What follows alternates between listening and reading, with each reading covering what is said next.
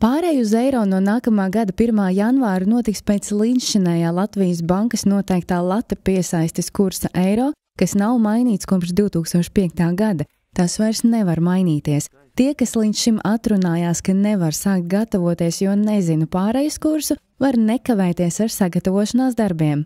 Ir ļoti svarīgi, ka cilvēki redz, ka tas, ko Latvijas valdība, ko banka stāsta, ka tas arī piepildās un ka cilvēkiem nav jābaidās no kādiem tiešām pārsteigumiem.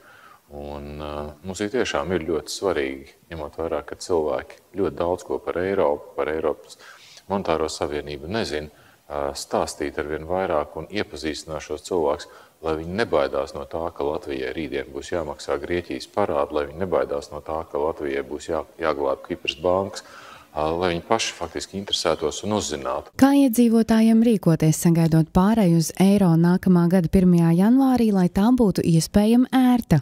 Tik tiešām, kā to dara vairākas komercbankas, aicināt cilvēkus savu naudu noguldīt komercbankās, lai šajā 1.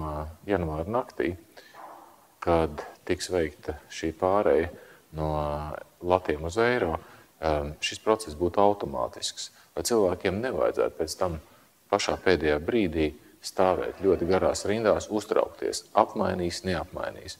Protams, ka apmainīs noteikti visiem, par to nav šaubu. Mainīsim visu mūžu, par to mēs arī esam vairāk kārt teikuši. Bet ir ļoti svarīgi, ka daudz cilvēku to nav dzirdējuši, un svarīgi, lai cilvēki viens otram arī to izstāstītu, un lai nekādā gadījumā neļautu rasties šim satraukumam. Lata pārejas kursa neatgriezeniska fiksēšana noteikti palīdzēs cilvēkiem turpmākajos mēnešos mierīgāk sagatavoties pārējai uz eiro un labvēlīgāk attiekties pret naudas maiņu.